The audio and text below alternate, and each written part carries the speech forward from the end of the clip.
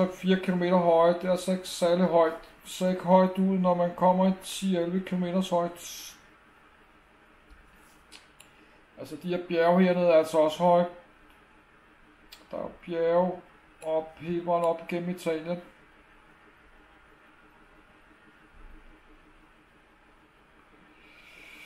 Så den der Vesuv-vulkan kan også godt være 2 km højere, sådan det kan man bare ikke se, når man er i luften, fordi man selv er vi er oppe i 36.000 fod, eller så er vi oppe i 11 km højt.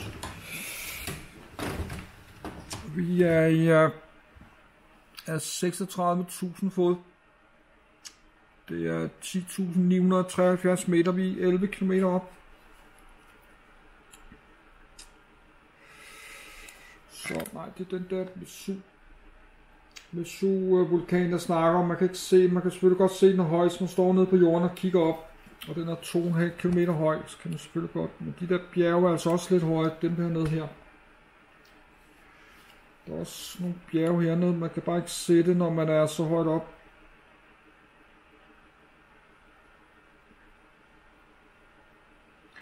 Der er også bjerge der og sådan noget. De kan også godt være 2 km høje, man kan på spikes, det virker, når man er heroppe, kan man ikke se det.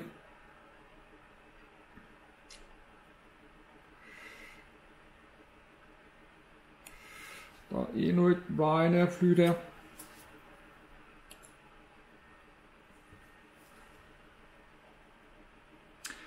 Yes, jeg ved ikke, hvad øh, SUF er for noget.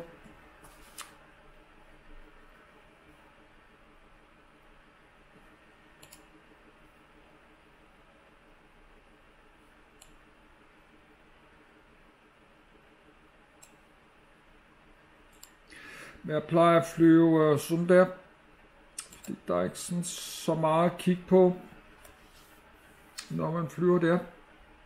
Det er så Napoli. Den skal lige opdatere. Den er ikke opdateret nu. Nu hopper den derop.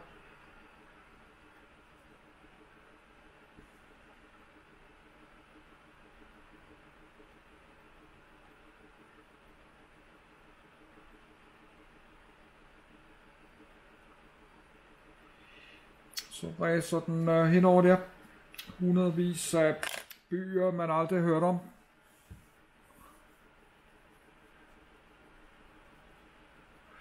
Så jeg skal ud og lens igen.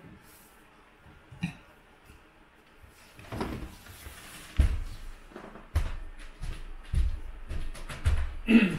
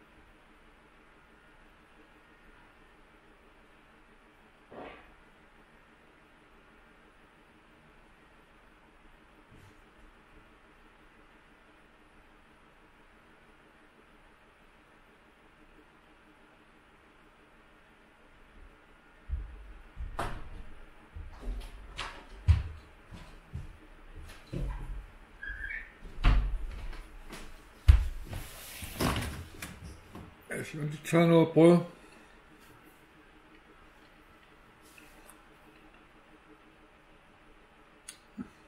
Så jeg er også ved at være træt og så. Og lang tid, der er 1500 km til London.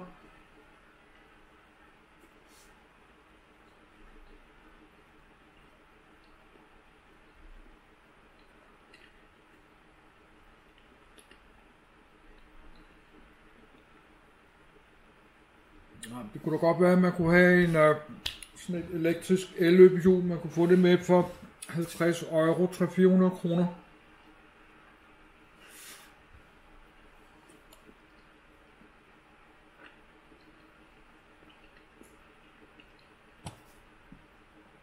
Sådan et godt lille, altså en af de bedre modeller elektrisk løbehjul. Der kan række 40-50 km, der mellem 40 og 60 sådan lidt der med.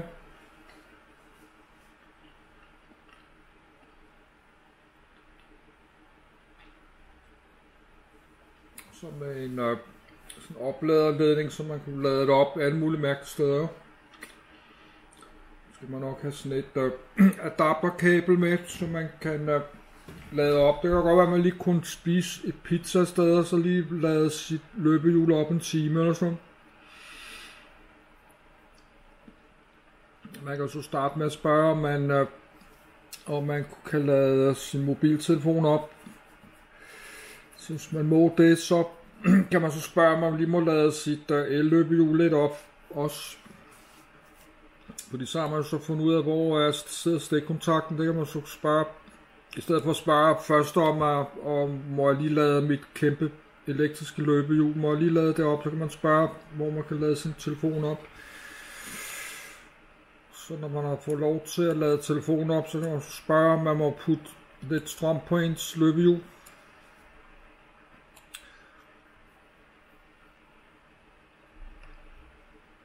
Så kan man have sådan et elektrisk løbehjul med og få noget øh, gratis strøm på rundt omkring.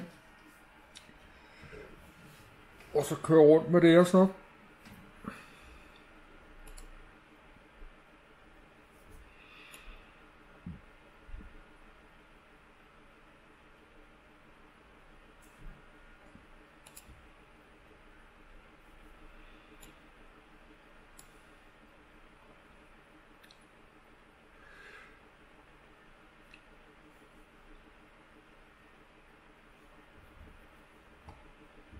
Yes, vi er så på vej op igennem Italien.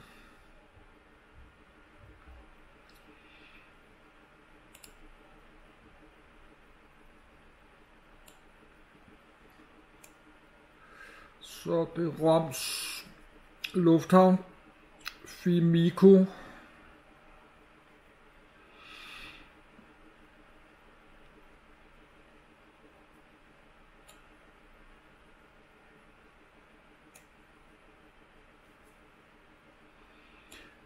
Men jeg er også ved at være træt og sådan noget, fordi jeg ikke sov så meget nat. jeg gjorde også det her i går og sådan noget til kl. 2 nat. Jeg vil helt bare ligge nede i min seng nu.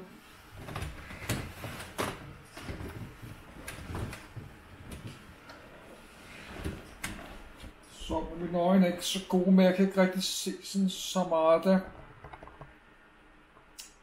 Når jeg hiver bordet, så vælter kameraet, det man gjorde det så ikke nu.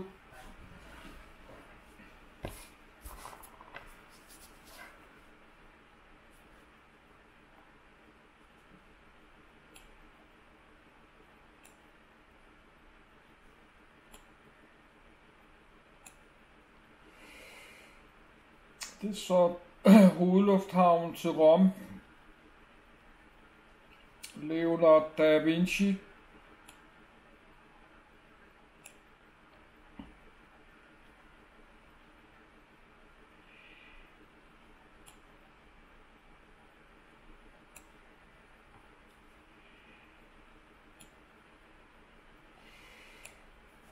Det er så Italia, der står på siden der. Så de smarte der, de har så flynavne på vingerne, fordi de ved godt, man kan godt se det på satellitfoto. Italia. Når man kigger sig der, så kan man se, hvilken flyselskab de er. Det skulle Fidex også gøre.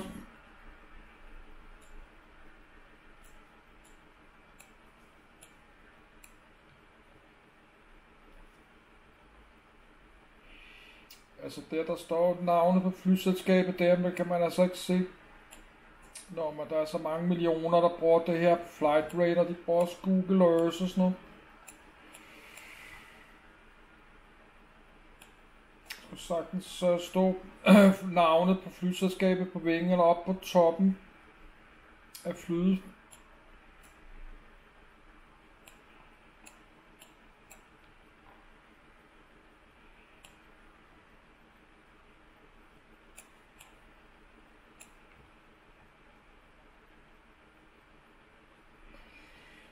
Så er der en anden øh, lufthavn tættere på, hvor der ligger sådan noget øh, slumpromp ligger deroppe. Jeg kan bare ikke finde det hurtigt, fordi jeg er træt, træt og øjnene er træt. Min stemme er træt.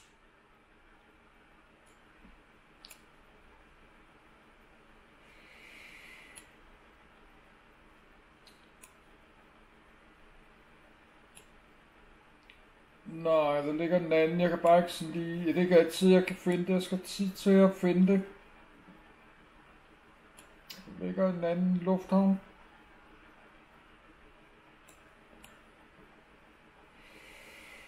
Som jeg så ikke kan finde lige nu.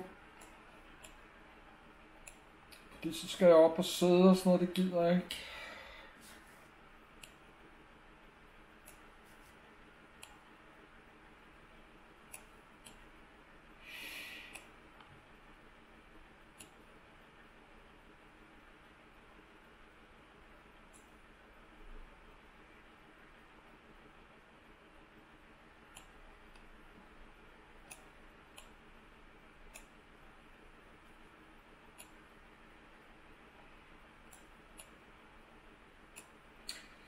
Det er